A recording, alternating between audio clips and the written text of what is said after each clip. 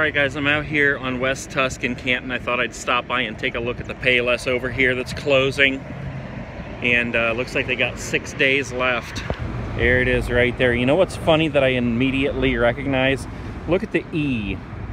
It has a bird's nest in it. Every time I go to a Payless, the E has a bird's nest in it. but there we go, closing signs, last six days. Let's go inside, see what it looks like.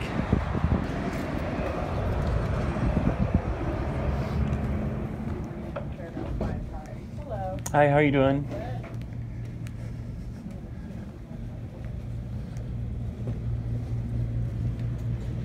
Not a whole lot left on the shelves at all. 80, 90% off.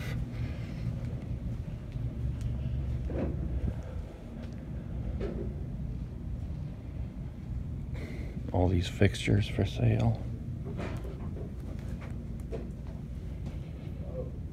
Acrylic boxes. That's the kind of thing I would buy and then try to figure out what I'm going to do with it. Some tables over here and sure. I'm getting our clear samples. Okay.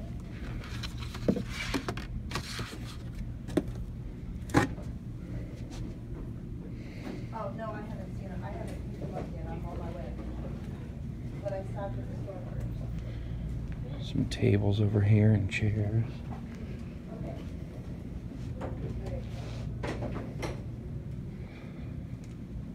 Yeah, everything's pretty much clearing out.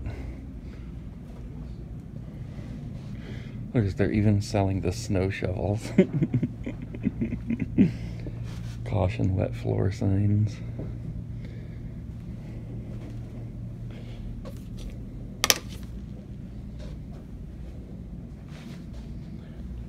These must be pricing guns.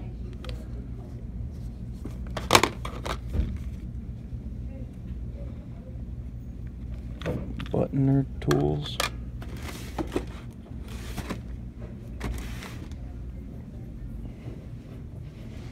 Seventy-five bucks for tables. Chairs.